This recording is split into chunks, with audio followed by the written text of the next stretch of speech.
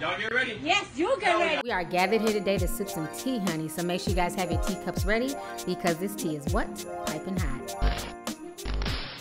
Hey, you guys, it's your girl T. So I want to come on here and talk about the whole situation with the Clermont twins, specifically with Shannade Clermont. For those of you guys who don't know who the Clermont twins were, they were initially brought to everybody's attention via the Bad Girls Club a few years ago. So they were featured on the Bad Girls Club. They were stuck up, they were arrogant. That's when they still had their old faces and their bell pepper ass noses. But if you see them now in 2018, they look nothing like they did a few years ago. They were stuck up, nasty, and had disgusting attitudes on the show. I refuse to even entertain the Bad Girls Club. I've tuned out of that years ago. But anyways, that's how they were first brought to everybody's attention. And then since then, they got, you know, a few modeling campaigns. They were featured in the Kanye's Yeezy Season 6 campaign. Kim Kardashian had them on her Instagram page. You know, so they were really getting big headed. They were always on the gram stunting and talking about how much more money they had than their followers and how many luxury things and luxury items they were able to accumulate. I'm going to go ahead and refresh y'all's memory. Here's a clip of the Clermont twins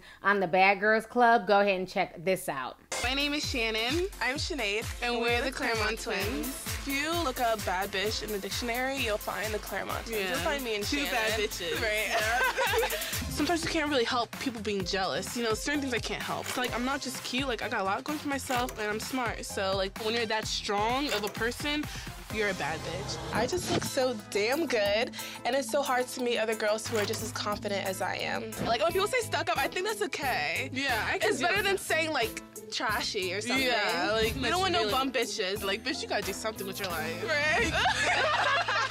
Husband needs to shut the hell up. Coming down thinks she run the house, bitch. You don't run. No one gives a about five dollar pack cigarettes, honey. I got more expensive to worry about. Anyways, y'all, y'all just seen that damn clip. So now this is why these girls are currently trending. So Shannade was arrested on federal charges the other day. Basically, they're stating that she was involved in a prostitution ring and she went to go meet a trick. So basically, this chick is an escort, aka a damn prostitute. People online were able to find her escort pages, and on her escort page, she calls herself Aubrey.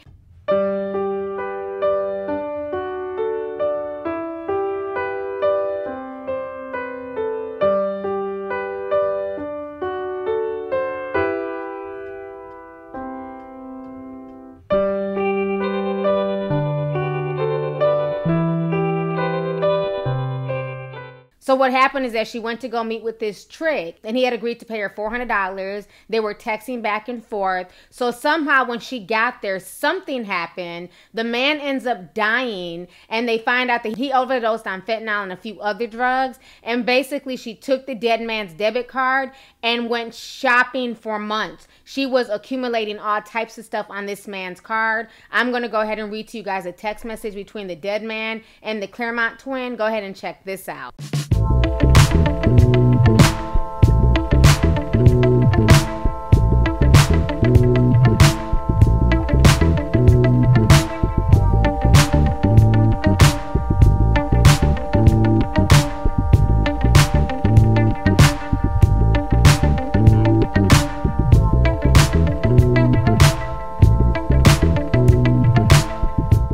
Right, so you guys just saw the text message between the victim and the Clermont twin Shannade. So basically, now she's out on a hundred thousand dollars bail, but she's facing some serious charges because she charged over twenty grand on this man's debit and credit cards. She only paid fourteen hundred dollars worth of rent. The rest was spent on luxury items, clothes, and trips and everything else. And you can't tell me that her damn twin Shannon did not benefit from this. Okay, the police are saying that she wasn't the one who killed the trick that supposedly the trick overdose, but you cannot tell me that this fucking greedy bitch did not know that that man was dead before she left and she didn't call for any type of help. She didn't try to get him any type of help. She didn't call 911. She promptly took his credit card, his debit card, and ran out. And for months, she was shopping on his dime. And the only way she'd have been shopping on his dime for months before being discovered is because she knew that man was dead when she woke up, okay? This girl is nothing but a low life thief, you know, and the thing that trips me out with all these IG girls,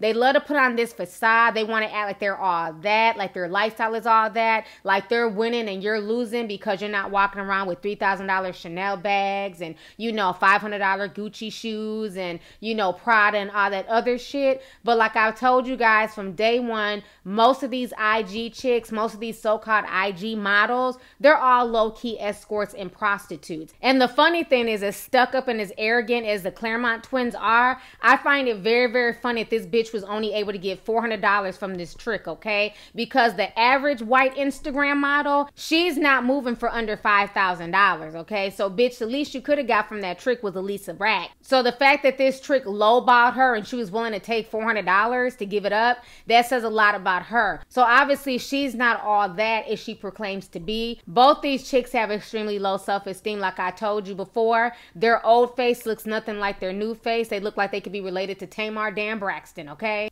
This entire situation is just comical. This chick literally spent $17,000 on clothes and shoes and fronting for the gram, but only paid one month of rent. You know what I'm saying? This guy lived in a $1.5 million penthouse in New York. This man was loaded, and she only managed to get $400 from him while he was alive and had to steal his debit and credit card after he was dead for her to get the shopping spree that she so desired, okay? So what I find funny is that today they were in court. Supposedly she was crying and you know she's trying to use her status and you know play innocent and everything else. I hope they throw the book at this girl. I don't feel bad for chicks like this because it's chicks like this who put on a persona online, who front on IG, who have young girls thinking that that's the way to make it, and who have young girls second guessing themselves because they may not have the latest this and that, but they're not understanding what a lot of these girls who are showing all this shit off on the gram, they're not understanding what these women are doing to acquire those purses and those shoes and everything else. And that's why I always tell you guys everything that glitters is not gold, okay? You never know what these folks are doing behind closed doors to show off these damn trinkets.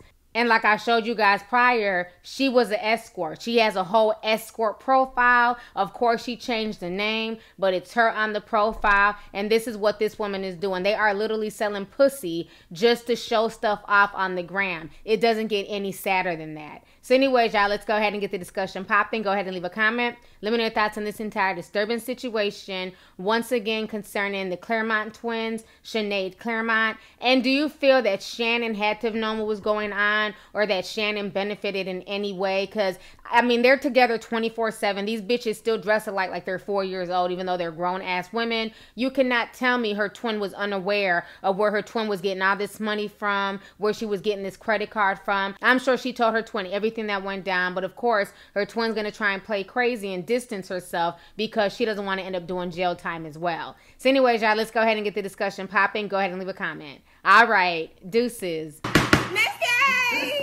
Hey you guys, it's your girl T and I hope you really enjoyed that video. If you want to know more about my look of the day or if you want a way to contact me concerning advertisement and sponsorship deals, definitely feel free to click my description box. There's plenty of information in there. Please stay tuned for the next video. Talk to y'all later.